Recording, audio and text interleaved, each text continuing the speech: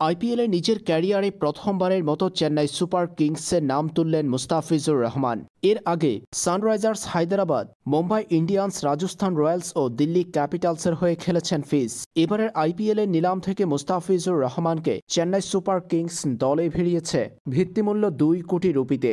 এর আগের দুই আসরে মুস্তাফিজ খেলেছেন দিল্লি ক্যাপিটালসের জার্সিতে। প্রথমবারের মতো মহেন্দ্র সিং ধোনির চেন্নাই সুপার কিংসে দেখা যাবে মুস্তাফিজুর রহমানকে। ইন্ডিয়ান প্রিমিয়ার লিগের লম্বা ক্যারিয়ারে মুস্তাফিজুর রহমান পঞ্চম দলে নাম তুলেছেন। নিলামের শেষ অংশে মুস্তাফিজুর রহমানের নাম তুলতেই তাকে দলে ভিড়িয়ে নিয়েছে মহেন্দ্র সিং ধোনির চেন্নাই সুপার কিংস। ফিজকে নিতে এরপর আর কোনো দল আগ্রহ প্রকাশ না করায় সহজেই মুস্তাফিজকে নিলাম থেকে দলে ভিড়িয়েছে চেন্নাই। ভিত্তিমূল্য দুই কোটি রুপিতেই ফিজকে দলে পেয়েছে মহেন্দ্র সিং ধোনির দল। ইন্ডিয়ান প্রিমিয়ার লিগে মুস্তাফিজুর রহমান খেলেছেন আটচল্লিশটি ম্যাচ, যেখানে তার উইকেট, সাতচল্লিশটি, সাত দশমিক নয় তিন ইকোনমি রেটে বোলিং করা ফিজ, ত্রিশ অ্যাভারেজে করেছেন বোলিং।